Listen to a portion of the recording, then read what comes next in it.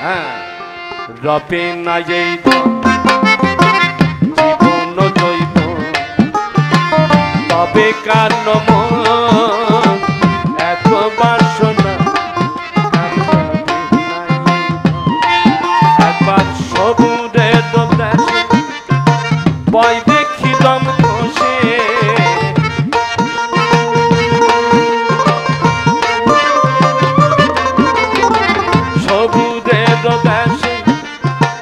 বয় দেখিলাম বসে কৃষ্ণাদের ভেসে এই যে যন্ত্রণা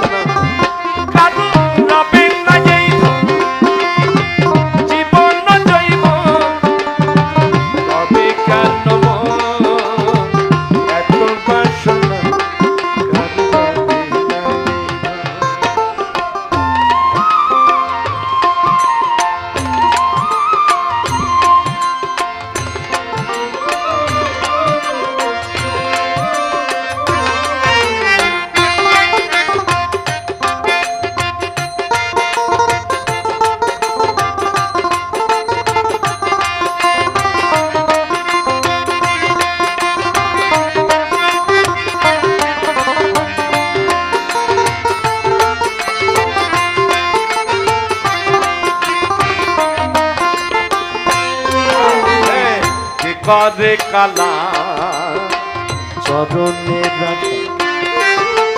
জানো না যে তার কি দুর্দশা?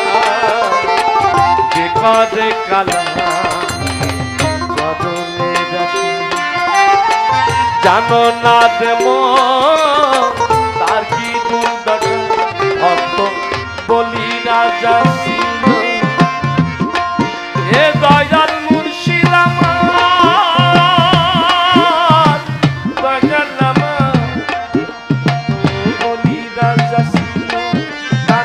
তারে বংশে নাসিল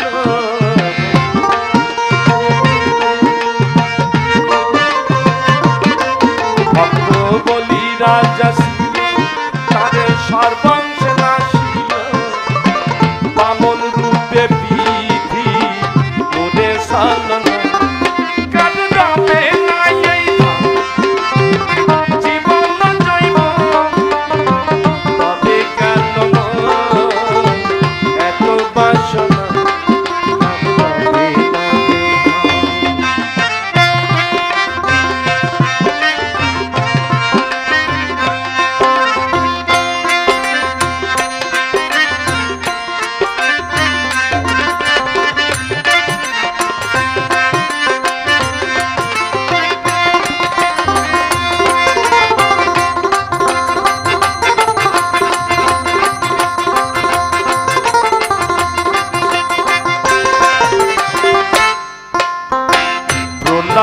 চরিত্র ছিল দত্ত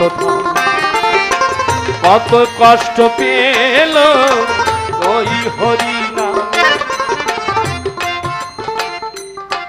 বাপ দাদা বলছে, এ তুই কি নাম বলতেছিস? ওর নামই একটা কি? কৃষ্ণ। এই কৃষ্ণ নামেই মুক্তি হরি নামেই মুক্তি, ওই নাম ধরে সে ডাকাডাকি করে। তার বাপ দাদারা দেখল যে ছেলের জন্য আমাদের জমিদারি, আমাদের রাজা, আমাদের আদি ধর্ম সর্বনাশ হয়ে যাবে। ওকে কি করল? হাত পাও বেঁধে সমুদ্রে ফেলে দিয়ে আসলো। ওই যে এক নামে পড়ে আছে।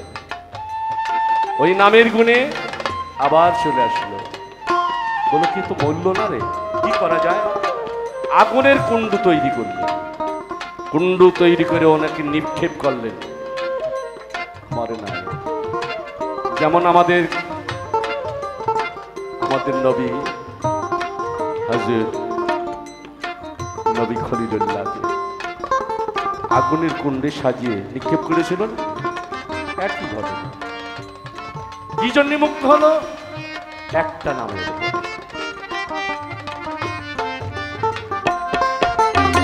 প্রহ্লাদের চরিত্র ছিল দত্ত ধাম কত কষ্ট পেল ওই হরি নামে তারে জলেতে ডুবালো আগুনে পুড়ালো।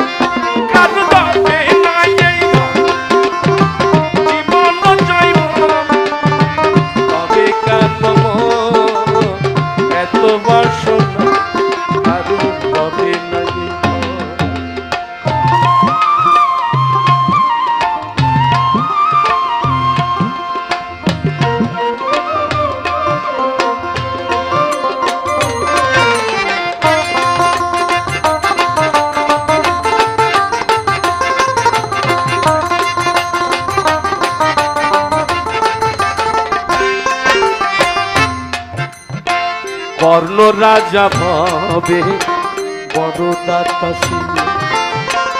অতীত রূপে তার পুত্রকে না ছিল, কর্ণ রাজা ভাবে বড়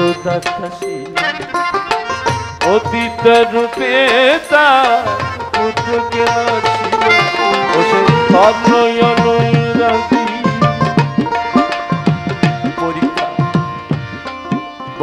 কর্ণ তুমি তো অতীত ছাড়া সেবা নেও না।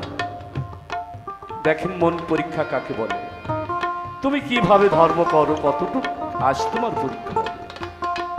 বলে যে প্রভু বলে, আমার, আমি যা খাইব, তুমি কি তা খাইতে দেবে? বলছে যে, অবশ্যই প্রভু। আমার বাসরে আছে, আপনি যা চাইবেন, আপনাকে তাই খাওয়াবো। আপনি কি চান? আপনি যদি আমার সিংহাসনও চান, তাও আমি দিয়ে দেবো। বলে না রে মাংস আমিও খাব না। আমার বড় মানুষের মাংস খাবার স্বাদ। তুই দিতে পারবি? বলে, এই কোনো ব্যাপার হলো আমার রাজ্য তো অনেক মানুষ আছে। বলেন, কোন মানুষ? বলে, কর্ণ। ওরে কর্ণই, আমি যে মাংস খাব, সে মাংস তুই দিবি না রে কর্ণ। বলে, অবশ্যই দেবো। বলে, সত্যি? তাহলে আর তিন সত্যি বললাম। বলুন বলে, তোর ছোট ছেলেকে যদি জবাই করে আমাকে রান্না করে দিতে পারিস, তাহলে তোর বাড়িতে সেবা নেব। বলে, তাই হবে একটা প্রভু। পরীক্ষা।